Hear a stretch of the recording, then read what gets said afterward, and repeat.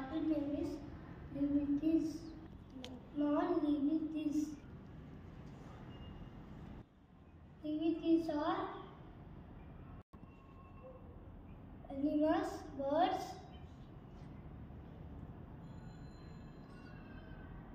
plants. Non-Livitis are eagles and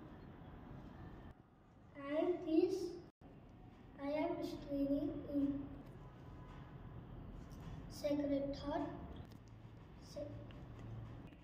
International Sensor Techno School, Tumokuru. I am, I am proud to be here.